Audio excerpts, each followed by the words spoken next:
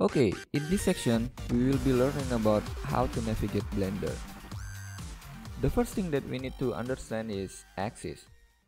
So, there are two types of axis, 2D axis, X and Y, and 3D axis, X, Y, and Z.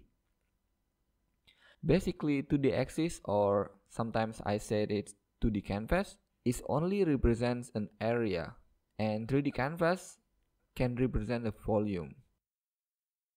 But actually the downside of using 2D canvas is when we want to see back view or side view of an object. We need to redraw the objects. While in 3D canvas, we just need to make one object completely. After that, we can easily see from whatever view we want. In 3D canvas, there are three axes that marked by colors. X always red, Y always green, and Z always blue, no matter what software do you use. And to navigate viewport in Blender, there are three commands that we need to know, orbit, pan, and zoom.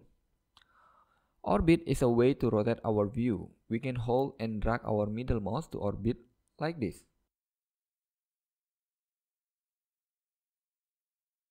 And pan is a way to move our view by using combination of shift and drag our middle mouse just like this.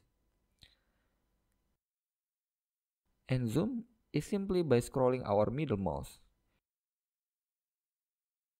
If we hold Ctrl and drag middle mouse we can zoom smoothly. Now it's about viewport view. When working with 3D view sometimes we want to see from front view side view or top view. We just need to remember number 1, 3, and 7.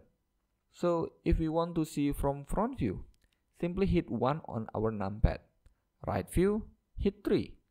Top view is 7. We can also press Ctrl and those number to see from the opposite view. Let's say we want backside view. Simply hit Ctrl 1. Left view, Ctrl 3. And bottom view is Ctrl 7 and then there are two numbers left. It is 5 and 0. 5 is used for changing between perspective view and orthographic view.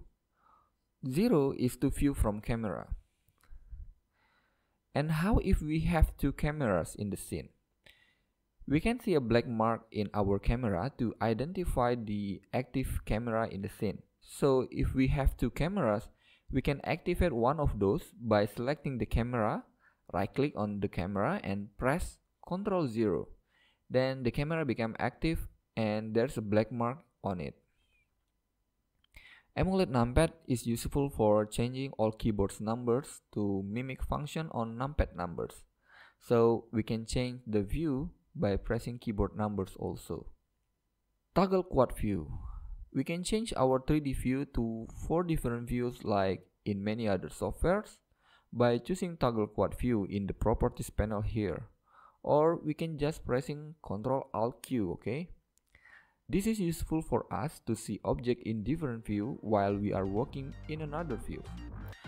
Okay that's it for section 2 and yeah see you in next video